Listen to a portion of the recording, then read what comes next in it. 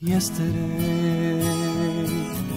All the Zionists had no place to stay, and so England sent them all away to the beautiful land they're on today.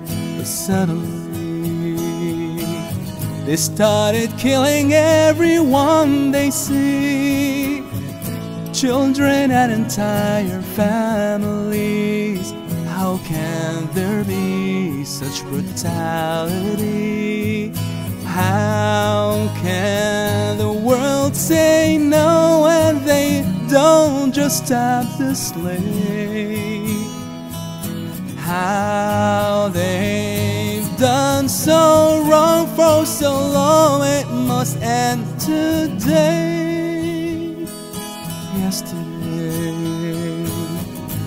Palestine was a holy place to pray.